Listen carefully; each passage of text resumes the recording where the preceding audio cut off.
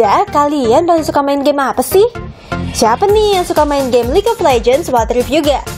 Nah, maka dari itu, Good Gamer mau kasih info menarik nih seputar dua champion teranyar pada bulan Februari di game yang satu ini. So, stay tuned! Yang pertama ada saya alias The Rebel. Saya merupakan pasangan dari champion teranyar yaitu Rakan. Penampilan champion satu ini terlihat seperti seekor burung yang berasal dari Ionia. Salah satu kemampuan dari saya yaitu ia bisa memberikan damage yang cukup menakutkan yang dihasilkan dari serangan-serangannya yang sangat tinggi. Tak hanya itu loh, skill ultimate yang ia miliki bisa digunakan dalam eksekusi lawannya yang sudah tidak berdaya. Selain itu, dengan skill ultimate-nya, ia juga bisa kabur dengan mudah ketika dalam pertempuran. Selanjutnya ada Rakan alias The Charmer. Ini dia, champion sebelumnya disebut-sebut sebagai pasangan dari saya. Champion merupakan champion support ini memiliki mobilitas yang cukup tinggi. Rakan juga mampu memberikan efek crowd control kepada lawan-lawannya. Lalu skill Rakan yang paling ditakuti adalah ia mampu memberikan efek charm kepada musuh yang berada di sekitarnya, sehingga musuh tidak bisa bebas bergerak dan tidak mampu mengaktifkan skill mereka. Nah, itu dia dua champion terbaru di game League of Legends Wild Rift. Good Gamer juga masih punya info nih tentang list champ teranyar apa saja yang bakal dirilis di bulan Maret. So, saksikan terus Good Gamer ya!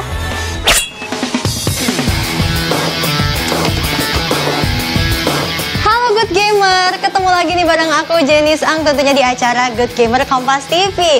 Nah, seperti yang kita tahu ya, sekarang kan makin banyak cewek-cewek tuh yang mulai main game. Tapi kira-kira apakah cewek-cewek ini juga bisa ya berkarir secara profesional di industri e-sport Indonesia? Pas banget, hari ini Jenis mau ketemu dan ngobrol-ngobrol langsung sama seorang bintang tamu yang bisa dibilang dia ngerti banget soal scene e-sport untuk para ladies, terutama di Indonesia. Tapi sebelum itu, aku punya berita menarik buat para good gamer di rumah. So, check this out. Nah, Good Gamers, sekarang Jenny sudah bersama dengan CEO dan founder dari tim Esport Ladies and Gaming Community Luna Nera. Di sini ada Deborah Immanuela. Halo Deborah, apa kabar? Baik, baik, baik. Nah, ini buat akrabnya manggilnya Debbie aja kali ya? Iya, ya, boleh, boleh. Iya. Nah, tadi kan Jenny sudah sempat bilang nih ke para Good Gamer di rumah kalau Luna Nera ini unik karena dia merupakan tim Esport Ladies dan juga Gaming Community. Tapi boleh diceritain nggak sih awal mula nih ceritanya Luna Nera bisa terbentuk? Oke, jadi sebenarnya uh, Luna Nera ini diawali diawali dari passion aku uh, terhadap gaming sih. Tapi kenapa akhirnya terbentuk itu gara-gara COVID. It's actually due to COVID. Jadi sebenarnya kalau ada disebut blessing in disguise ya ini blessing in disguise gitu loh. Jadi uh -uh. ketika COVID itu my business eh, nggak uh, terlalu going well lah ya. And then mau nggak mau kan kita semua stay di rumah kan nah stay di rumah ya akhirnya aku main game terus tuh instance gitu kan tapi aku ini orangnya nggak bisa yang kayak oh ya udah main game doang gitu kan nah mm. akhirnya di situ aku uh, sama ada beberapa teman aku itu yang memang kita hobi gaming kan dan itu cewek-cewek cewek-cewek semua uh, cewek-cewek semua. Oh, cewek-cewek gamers ya? Iya, cewek-cewek gamers. Nah, dari situ kita mulai, uh, aku mulai sharing-sharing di sosial media kayak mau bikin gaming community nih buat cewek-cewek hmm. gitu kan siapa yang mau uh, mabar bareng segala macam. Nah, sampai akhirnya di situ dikenalin sama uh, ada satu mantan pro player cewek hmm. namanya Aurel. Hmm. Nah, dia itu dulu bekas uh, salah satu tim besar lah.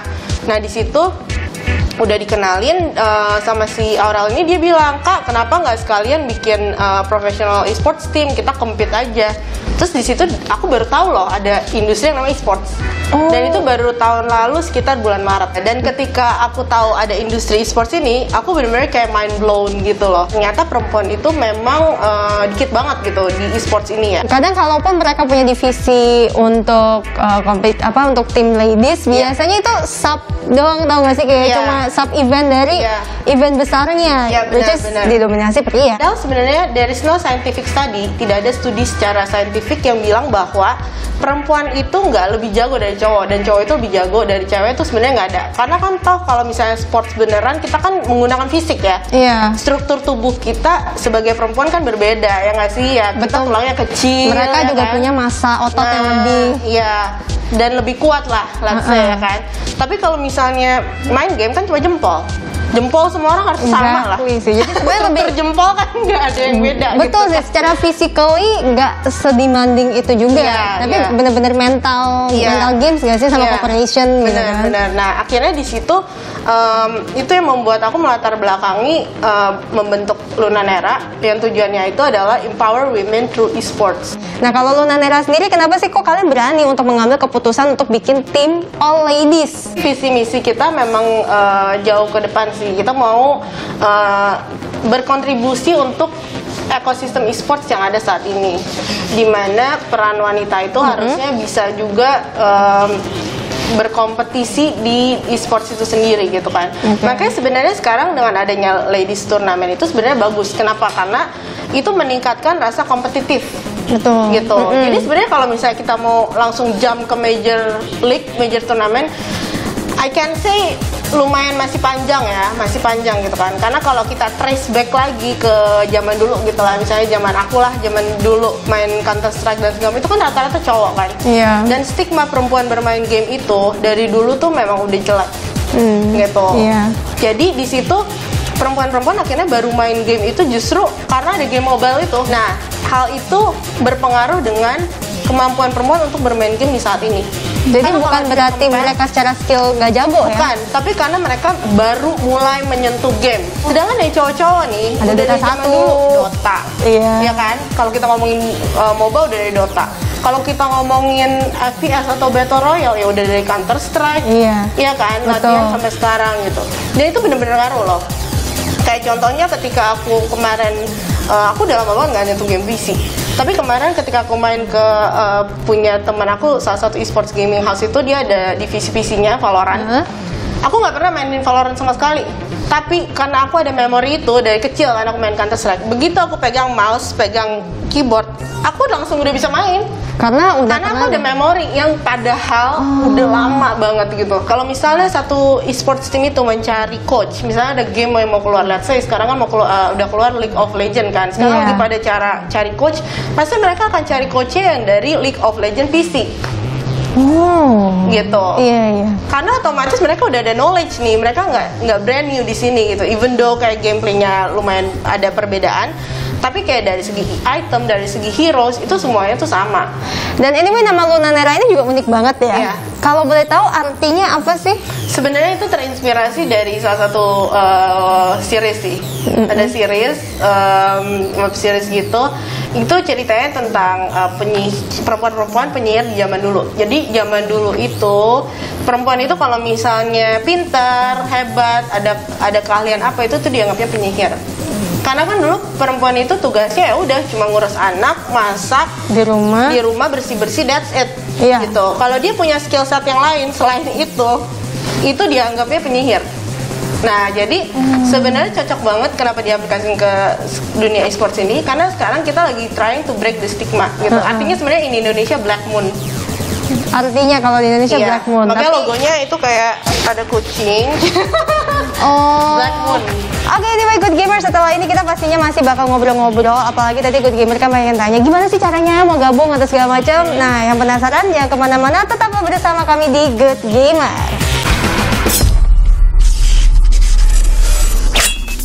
Lagi di Good Gamer dan tentunya masih bersama dengan Luna Nera di sini dan tadi kan kita udah ngobrol-ngobrol mengenai apa sih Luna Nera itu tapi sekarang kita akan lebih in depth lagi nih Iya, untuk iya. membahas Luna Nera. Kalau boleh tahu sekarang sudah ada berapa divisi sih di, eh, di Luna Nera sendiri? Untuk divisi yang kompetitifnya itu ada empat sih. Ah, apa Ah, aja nih, Jadi eh, ada eh, PUBG, Mobile Legends, Wild Rift, dan Sim Racing.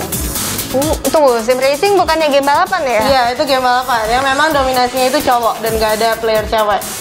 Sing itu sebenarnya eh, playernya itu adalah temen aku sendiri sih. Jadi ketika awal-awal kita bentuk Lunanera itu dia salah satu co-foundernya kan. Sampai dapat kesempatan eh, akhir tahun lalu gitu kan dikenalin sama eh, GT, eh, GT Sim. GT Sim itu punyanya eh, Rizal Sungkar, kakaknya dari Rifat Sungkar. Pembalap beneran. beneran. Dan di situ akhirnya dites tuh, dites dulu. Oh, jadi nggak langsung serta-merta kayak oke Enggak let's go lah, gitu. iya. Kalau misalnya nggak ada bak- bakat juga buat apa, bener nggak? Iya sih, Akhirnya betul. langsung dites sama Mas Rizal. Langsung di situ ternyata mereka bilang, wah nih anak ada bakat nih. langsung dilatih sama eh, pembalap beneran jadinya Oh, di RTF uh, Motorsport. Nah terus udah gitu langsung ikut dalam bulan itu juga kita deal kerjasama langsung diikutin ke uh, National Championship. langsung nasional. Iya. Ah, tapi kalau bisa dibilang kan Lunanera ini juga belum terlalu lama ya dibentuknya. Iya, Jadi turnamen apa aja sih yang udah kalian ikuti selama ini? Kalau PUBG itu kita udah lumayan banyak dan pencapaian uh, terakhir itu kemarin kita di posisi pas ada PMPL Ladies kita di posisi um, kita di posisi 7 sih Oke. dari uh, 16 tim ya di final ya. Ah, ah. Hmm. dengan sisi poinnya dikit banget sih. Tipis-tipis Jadi yang yang ya? empat itu yang bisa ke saya. Oh. Jadi kayak ah nyaris banget padahal kayak uh, match pertama, match kedua kita top 3 top 3 yang last uh, time-nya itu kita ada ikut uh, Merdeka Challenge untuk yang ladiesnya posisi satu Oke. gitu. Tapi Terus- berarti Lunanera ini juga open ya untuk mengikuti turnamen mix gitu. Oh banget banget justru aku sebenarnya um, selalu encourage tim-tim aku untuk ke mix sih sebenarnya. Cuman memang Pengala- time ya, pengalaman. takes time, takes time. Kemarin sempat menang ikut Oh. tier uh, juara tiga nih kalau nggak salah untuk mix turnamen Iya. dan itu memang takes time ya dari awal terbentuk Lunanera divisi pertama PUBG baru kemarin berani ke mix gitu. Emang takes time. Aku selalu bilang mereka, aku selalu bilang bahwa uh, please keep this in mind gitu aku bilang ladies ladies tournament itu ladies tournament is a playground and mixing is a the real bat- battleground. Itu tadi kan sempat bilang kalau player untuk mencari professional player cewek gitu di industri gaming atau e-sport termasuk masih bisa dibilang dikit ya talent-talentnya. Kalau Iya. Gitu proses perekrutan dari Lunanera nih, bagaimana sih untuk mencari pro player pro player wanita? Biasanya itu dari komunitas, dari komunitas. Jadi kan kita memang ada gaming gaming komunitas kan. Community-nya itu kita eh, coba lihat kalau misalnya ada yang bagus atau enggak. Terus eh, bisa juga dari eh, tim lain, let's say, yang ketika misalnya ada player kita main ngelihat gitu kan dari turnamen, oh ini kayaknya skillnya bagus nih gitu kan. Ya udah kita coba tarik, ya, tarik juga. Dan juga ada open trial, jadi semua bisa untuk ngikutin open trial itu. Ngomong-ngomong soal pencarian pro player juga, kalau kalau di tim cowok atau tim organ- organisasi e-sport lah pada umumnya kan biasanya mereka melakukan transfer pemain, ya Ya. kan? Dan organisasi e-sport di Indonesia juga banyak yang memiliki divisi ladies juga. Nah, kalau untuk Lunanera sendiri, eh, kalau boleh tahu apakah bursa transfer pemain ini juga terjadi di scene ladies? Di scene ladies itu sebenarnya juga eh, ada, cuman belum sebesar di scene cowok ya. Karena kadang kalau misalnya pun mau diambil harganya juga kan kalau ladies biasa tuh nggak bisa gede-gede gitu kan. Karena sebenarnya dari income pun itu udah jauh gitu. Jauh, iya. jauh. Jadi memang sebenarnya ya targetku pun gitu ketika misalnya memang tapi ya ladies ini harus proof juga bahwa mereka berani Punya skill, turnamen iya. dong dan punya skill.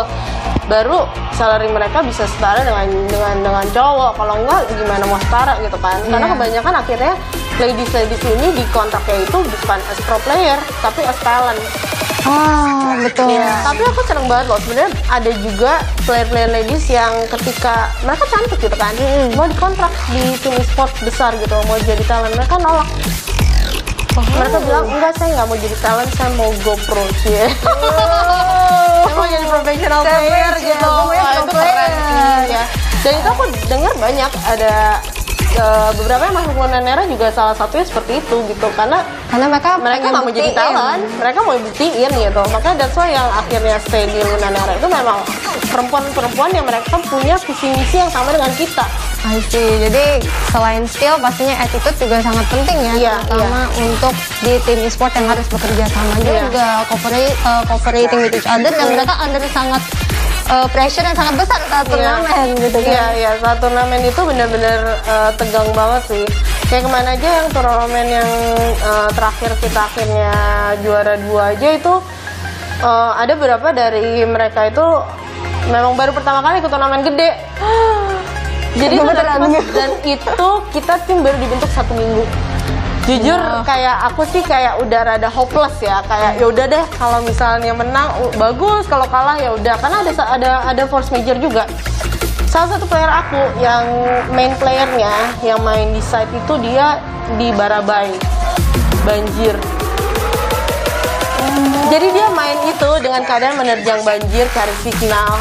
Gila itu bener-bener tunggu. profesional. Jadi dia masih max. dia masih iya main main di tengah banjir. di tengah banjir karena dia nggak mau bikin temen-temennya itu kecewa karena mereka udah latihan kan mereka tuh latihannya gila aku sih salut sih sama mereka pagi mereka bangun jam 10 pagi udah latihan sampai siang break bentar sore latihan lagi sampai malam fokus gila itu aku kayak eh, untuk yang tim yang sekarang ya Iya. gila itu amazing banget sih Menjadi professional player juga pastinya butuh dedikasi yang sangat tinggi ya. Anyway, setelah ini nih Debbie, ada para netizen juga yang kepo yang sudah memberikan pertanyaan buat kamu. Oke. Tapi jangan dijawab sekarang karena kita bakal jawab setelah yang satu ini. Sobat Gamers, balik lagi di GG Top 5 Sobat Gamers pasti sudah tahu nih kalau dunia e-sport kini berkembang semakin pesat Dan bukan hanya diminati oleh kaum pria saja loh Namun tak sedikit pula kaum hawa yang menggandrunginya. Bahkan saat ini banyak juga perempuan-perempuan yang memiliki hobi di bidang e-sport. Dengan kemampuan skill mereka yang tidak jauh dari para pro player pria Ternyata banyak juga loh tim e-sport yang membentuk tim e-sport wanitanya. Penasaran? Ini dia, tim e-sport wanita di Indonesia. Mega Kiss. Tim yang satu ini adalah tim e-sport yang dibentuk oleh founder dari girl band Cherry Bell. Bukan, mereka bukan anggota girl band tersebut, melainkan cewek-cewek yang lolos audisi pencarian roster yang pastinya jago main game. Kelima roster Mega Kiss sendiri biasanya bermain game PUBG dan Mobile Legends Dan gak heran ya kalau mereka begitu menarik perhatian cowok-cowok Karena kecantikannya dan juga skill bermain game mereka FF Gaming Fadal Fighters atau FF Gaming adalah sebuah tim e-sport yang cukup lama terbentuk yaitu sejak tahun 2010 loh. Tim ini dulunya memiliki nama Female Fighters, namun terjadi perombakan roster sehingga Female Fighters pun berganti nama menjadi Fatal Fighters. Belletron Esport Bigatron Esports juga punya ladies division yang bernama Belletron dan diisi oleh roster-roster cantik yang juga jago main game. Awalnya Belletron hanya memiliki divisi AoV, CSGO, dan juga Mobile Legends. Namun kini ditambahkan dengan divisi PUBG Mobile yang juga sangar-sangar loh permainannya. Valkyrie 48 jika dilihat dari namanya, pasti kalian nggak asing lagi kan? Yap, Valkyrie 48 ini diisi oleh 6 orang dari total 80 member yang dimiliki oleh JKT48. Game yang dimainkan oleh keenam roster Valkyrie 48 juga berbeda-beda. Ada dua orang di divisi AOV dan juga empat orang divisi PUBG. JKT48 sendiri mengungkapkan bahwa mereka membentuk tim e-sport ini bertujuan agar Valkyrie 48 nantinya bisa menjadi simbol e-sport di Indonesia, bahkan bisa memperluasnya hingga ke seluruh benua Asia. EVOS Galaxy. Galaxy Ladies. Itulah nama tim mereka sebelum Galaxy Ladies bergabung ke EVOS Esport Tim yang berisikan lima perempuan ini pun berganti nama menjadi EVOS Galaxy saat resmi bergabung dengan EVOS Esport mereka berhasil mempertahankan juara Point Blank Ladies Championship selama 3 tahun berturut-turut loh dari tahun 2016 sampai 2018 Gak hanya itu, mereka juga menjadi tim perempuan Indonesia pertama yang berlaga di Point Blank International Women Championship 2017.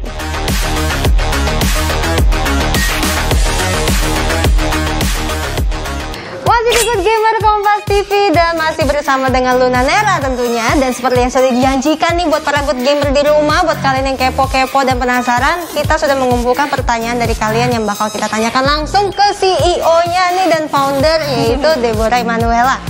Nah ini ada pertanyaan pertama dari IGN Handy. Halo Luna Nera. Kalau mau cari gamer perempuan untuk kompetitif scene Ada forumnya kah?